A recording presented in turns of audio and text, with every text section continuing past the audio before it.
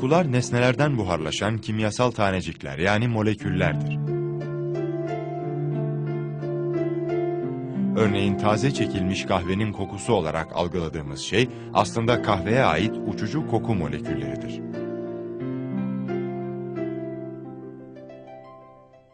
Bir kokunun yoğunluğu buharlaşmanın yoğunluğuyla doğru orantılıdır. Fırından yeni çıkmış bir kek, bayat bir keke oranla çok daha fazla kokar. Bunun nedeni koku moleküllerinin sıcağın etkisiyle havada serbest hareket etmesidir. Serbest hareket eden moleküller geniş bir alana yayılabilir. Pek çok molekülün kendine has kokusu olmasına rağmen suyun kokusu yoktur. Buysa bizim için büyük bir nimettir. Suyun bu özelliği birçok karışıklığın önüne geçer. Örneğin kuru bir gülle üzerinde su damlaları olan bir gülün kokuları arasında hiçbir fark olmaz.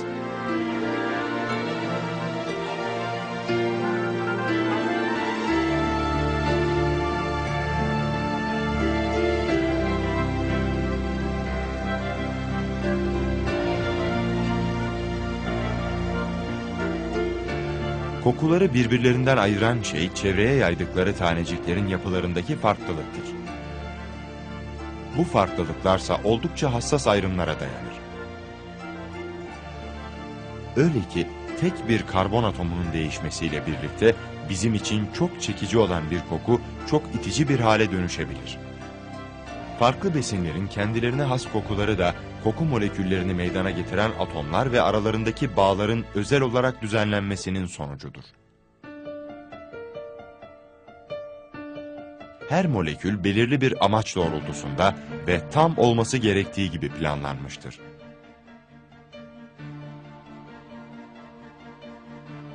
Şüphesiz bu muhteşem tasarım her şeyi yaratmış olan Allah'a aittir.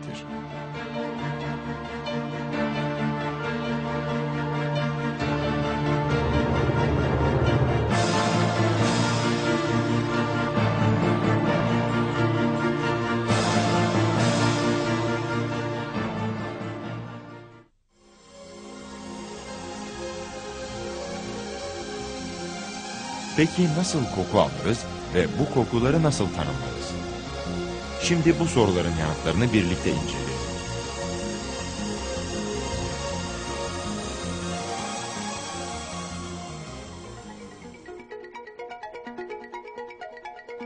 Her nefes aldığımızda hava olarak adlandırılan ve trilyonlarca molekülden oluşan gaz karışımı burun deliklerinden içeri girer. Gözle görülemeyecek kadar küçük olan koku tanecikleri de bu karışımın içinde yer alır. İçeri giren havanın bir kısmı burnun içindeki türbin kemikler tarafından koku alıcı bölgeye yönlendirilir.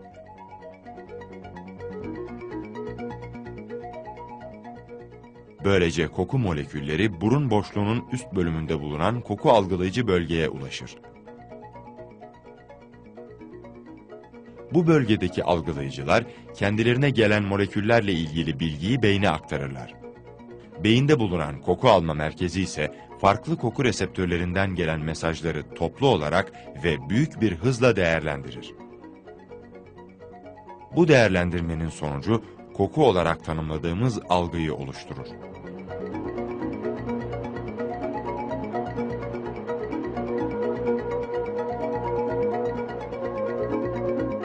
Kısacası burun, kimyasal analiz laboratuvarı gibi çalışır. O kadar hassastır ki 10 binden fazla kokuyu mükemmel bir doğruluk oranıyla tanımlayabilir.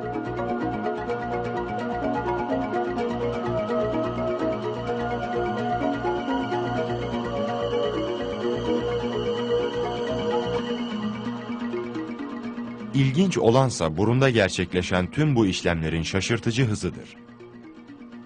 Kahve moleküllerinin burnumuzdan içeri girmesiyle kahve kokuyor yargısına varmamız arasında geçen zaman bir saniyeden çok daha kısadır. Bu kusursuz sistemin evrim teorisini savunanların ileri sürdüğü gibi rastlantıların eseri olamayacağı ise çok açıktır.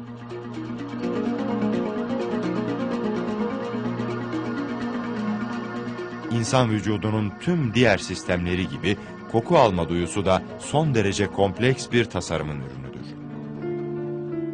Bu Allah'ın yaratma sanatıdır.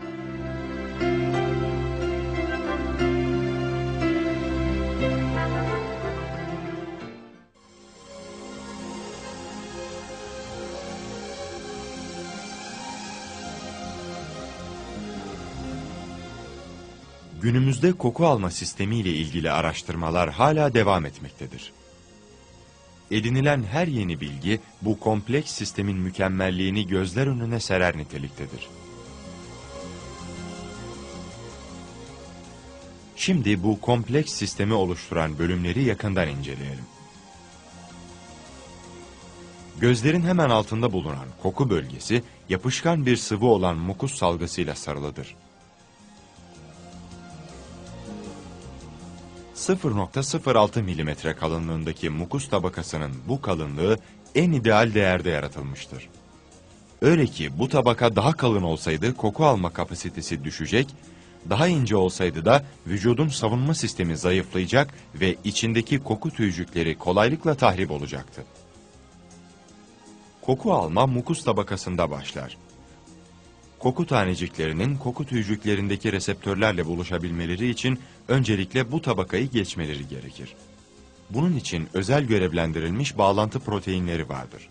Mukus tabakasında bulunan bu proteinler koku tanecikleriyle birleşir ve onlara bir rehber gibi yol gösterir. Bu düzen şaşırtıcı olduğu kadar göz alıcı bir yaratılış kanıtıdır da. Koku alma sisteminin bir diğer parçası da koku hücreleridir. Koku hücrelerinin temel görevi koku moleküllerinin taşıdıkları mesajları alarak koku soğancığına götürmektir. Bir koku hücresi üç ana bölümden oluşur. Ortada hücre gövdesi vardır. Bunun bir ucunda silya isimli tüycükler, diğer ucunda da akson isimli sinir uzantısı bulunur. Silya tüycükleri koku molekülleriyle temasın kurulduğu bölgelerdir. Hücrenin bir ucundaki silyaların sayıları 10 ile 30, uzunlukları 0,1 ile 0,15 milimetre arasında değişir. Silyalar, eşi benzeri görülmeyen olağanüstü bir haberleşme teknolojisine sahiptir. Mukus içinde eriyen koku molekülleri silyalardaki özel reseptörlerle birleşir. Bu birleşme anahtar kilit uyumu kadar hassastır. Birleşme sırasında koku alıcı hücrede bir sinyal oluşur. Bu hücreler koku moleküllerinin taşıdığı mesajları elektrik sinyallerine dönüştürürler. Bu aşamada koku hücrelerinin diğer ucundaki aksonlarda şaşırtıcı birçok işlem meydana gelir. Hücrede açığa çıkan sinyali beyindeki koku soğancığına taşımak için aksonlar işbirliği yapar. 10 ile 100 arasındaki akson koku soğancığına ulaşmak için bir demet oluşturur ve topluca elek kemiğinin içinden geçerler. Burada dikkati çeken diğer bir mucize elek kemiğinin özel tasarımıdır. Elek kemiği koku sinirlerinin geçişine olanak tanıyan delikli bir yapıya sahiptir. Aksi takdirde sinirlerin birbirleriyle bağlantı kurmaları mümkün olmayacak, dolayısıyla bütün işlemler gerçekleşse bile koku almak imkansız hale gelecektir. Koku alma sistemindeki tüm bu detaylar öylesine planlanmıştır ki, koku hücresindeki haberleşme kusursuz bir şekilde gerçekleşir. Koku alma sisteminin diğer önemli bölümü de koku soğancığıdır. Koku soğancığı beynin ön bölümünde koku bölgesinin ve kafatasını oluşturan kemiğin hemen üzerinde yer alır. Burundaki iki koku bölgesine karşılık beyinde de iki koku soğancığı bulunur. Her bir soğancığın büyüklüğü bir bezelye tanesi kadardır. Koku soğancığı aynı bir haber merkezi gibi çalışır.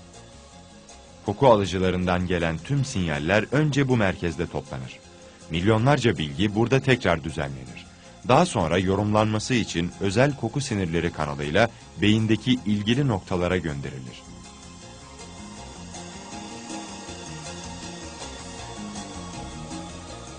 Yani bu minik organ milyonlarca koku hücresi arasındaki kusursuz koordinasyonun yürütüldüğü yerdir.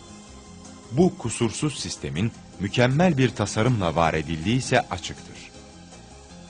Bu tasarım Allah'ın yaratma sanatıdır. Aksini iddia edip bu sistemdeki mükemmel tasarımı tesadüflere bağlayan kişilerse büyük bir yanılgı içindedirler. Akıl sahibi bir insanın bu kimselere vereceği cevap Kur'an'da şöyle açıklanır. seni topraktan, sonra bir damla sudan yaratan, sonra da seni düzgün, eli ayağı tutan, gücü kuvveti yerinde bir adam kılan Allah'ı inkar mı ettin? Fakat o Allah benim Rabbimdir ve ben Rabbime hiç kimseyi ortak koşmam. Burun denildiğinde ilk akla gelen koklama duyusudur. Oysa yapılan araştırmalar sonucunda burnun sadece yüzde beşlik bölümüyle koku aldığı anlaşılmıştır. Geri kalan yüzde 95'lik bölümde ise solunum sistemiyle ilgili çok önemli iki görev yerine getirilmektedir. Görevlerden ilki nefes alınan havanın ısıtılması ve nemlendirilmesidir. Burnun iç yüzeyini kaplayan mukus tabakası su buharı salgılayarak giren havayı nemlendirir. Mukus tabakanın hemen altındaki kılcal damarlar da geçiş sırasında havanın ısınmasını sağlar. Böylece hava akciğerlerin hassas yapıları için en uygun hale getirilir. Bu mekanizma sıcaklık ve nem ortamını düzenleyen gelişmiş bir klima sistemi gibidir. Burnun ikinci görevi ise solunan havanın içindeki toz zerrelerini ve mikropları durdurmaktır. Havadan gelen bu zararlı tanecikler mukus tabakası tarafından yakalandıktan sonra silya tüycükleri devreye girer. Zararlı maddeler içeren mukus tüycükler tarafından hızla yutağa itilir. Daha sonra da öksürükle dışarı atılır ya da yutularak midedeki asitler tarafından yok edilir. Görüldüğü gibi mukus tabakası, mukus üretici hücreler ve tüycükler burnun içinde bir kimyasal arıtma tesisi meydana getirirler.